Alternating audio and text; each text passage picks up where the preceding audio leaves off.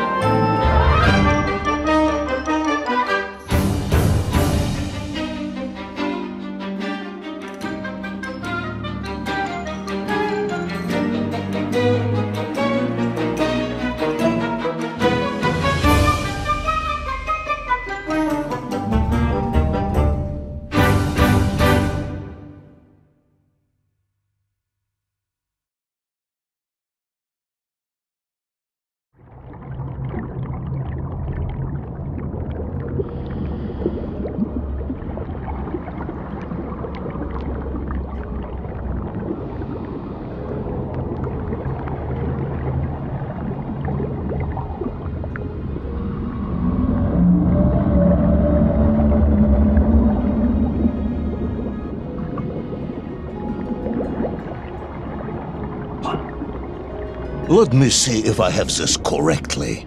After narrowly failing to apprehend the mad missing explorer Tull and recapture my atomic bomb in your giant snowball, you fell through thin ice and sank to the bottom of a subterranean ocean, discovering along the way that the mind control helmet you had accidentally wedged onto your head enabled you to breathe underwater and resume your pursuit across the seabed.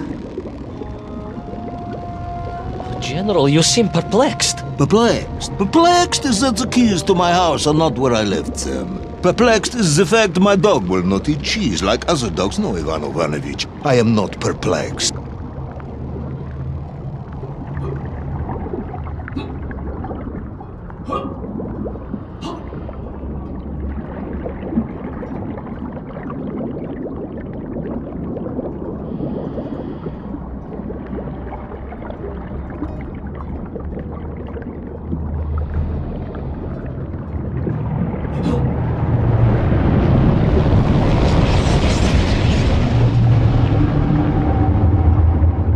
That is unfortunate, General. Once again, Comrade Pervalov, I must correct you. Unfortunate is losing one's car in a snowstorm. Unfortunate is booking opera tickets on your wife's birthday and getting the date wrong.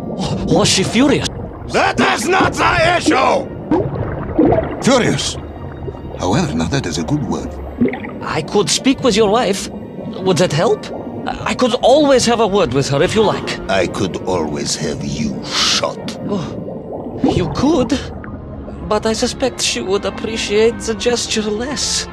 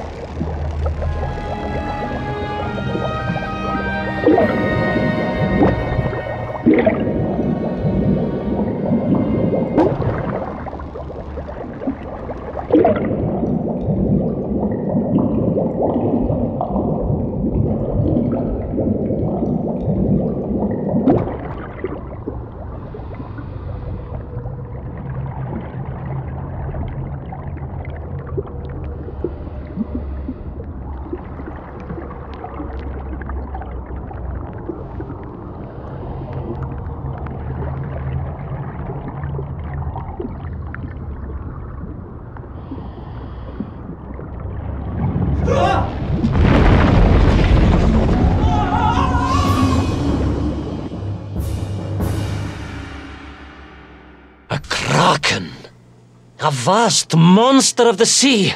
A giant, humongous, many armed electrical destroyer of ships and cities. Electrical? Electricity flowed along its horrible body, sparking and stunning all it touched, flowing like deadly rivers along its awful tentacles. A ah! ah!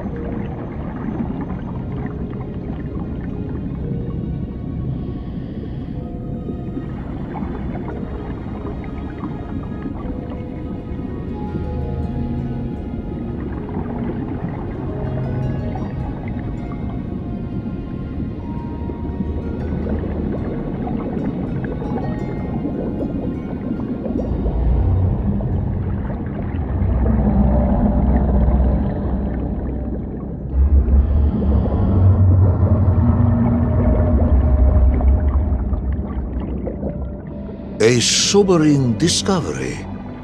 Are you suggesting that the vessel simply wandered off course and sank here? That seems unlikely even by your standards. No, General, I only wish that were true. The mighty ship showed terrible scars, signs of having been grappled and torn asunder by some huge and terrible adversary. It is indeed strange and curious. I am troubled by this discovery. Might you almost be perplexed, perhaps? Don't push your luck.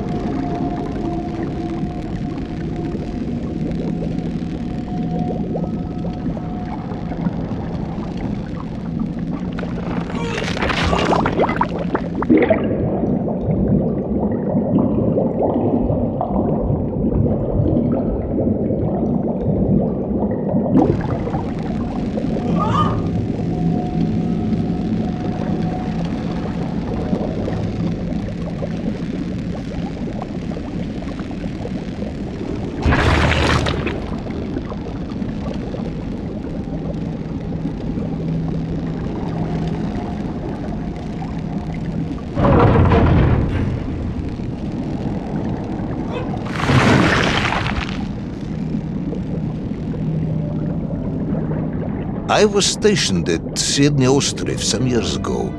I am only too aware of how easy it is for the imagination to create monsters when one is exposed to lonely and dark places. My men required constant monitoring. Mm, Much like my cousin Pavel. He was also stationed at Ostrov? No, he required constant monitoring. He was a devil for stealing eggs.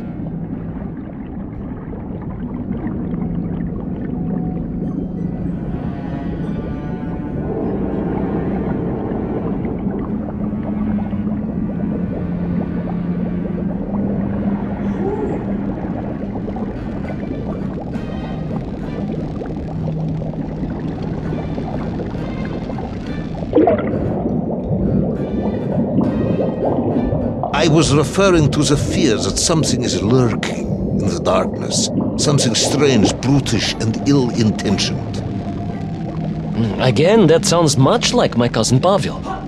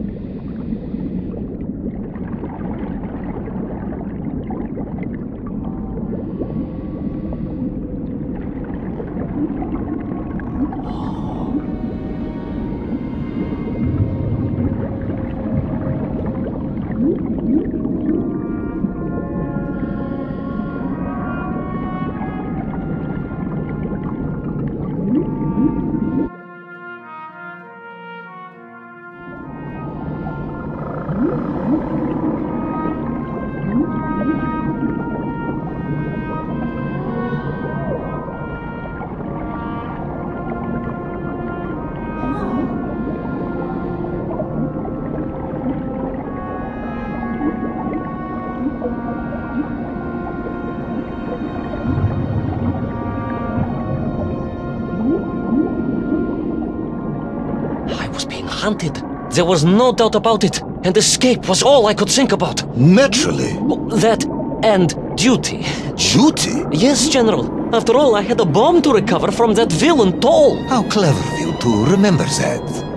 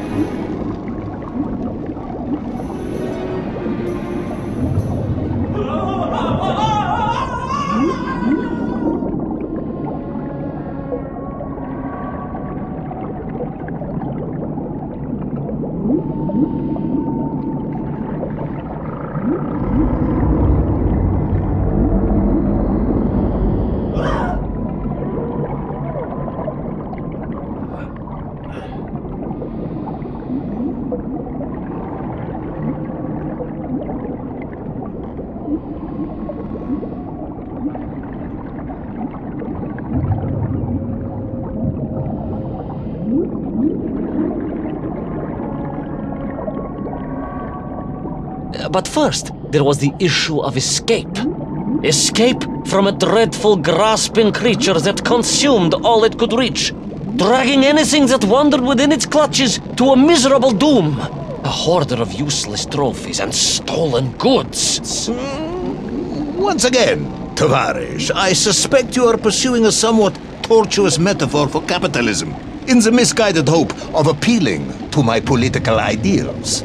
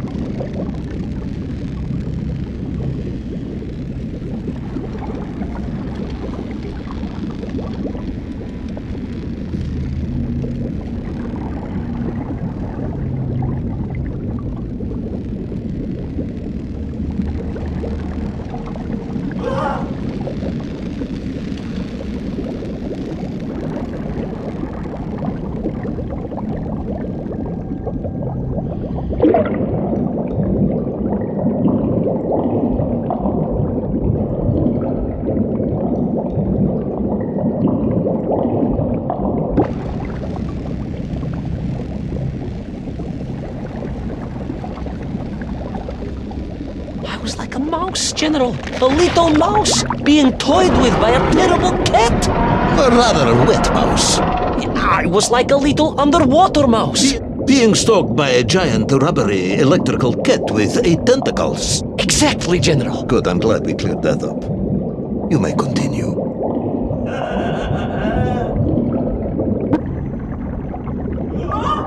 Submarines. You didn't mention submarines before. Didn't I? Uh, why? No, no, no, no, no, no, Naverne, General, of course. Submarines, millions of them. Uh, well, uh, several, at least.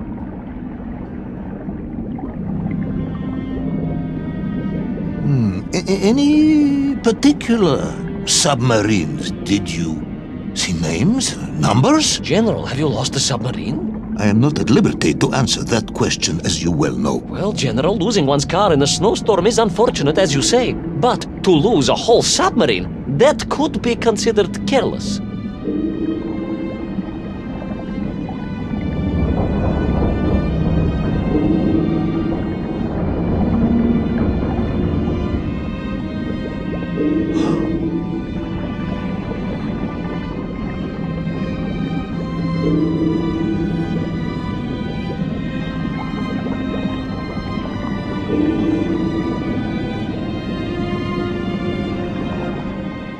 And you are certain it was M. Dveschi Pidishatschwist? Well, that was painted on the hull, so I can only assume so. Ah, I think I know where this dismal story is going next. You somehow miraculously brought the remaining closed cycle engine online, uh, flooded the torpedo tubes, dispatched the Kraken with one shot, and triumphantly surfaced. No, General, that is not what happened at all. I did indeed make my way to the torpedo tubes, but for a very different purpose. After all, history has taught us that atomic power is not to be toyed with. Much like tired, impatient generals, perhaps. Particularly the perplexed ones. Indeed, General. Or like dogs that will eat no cheese.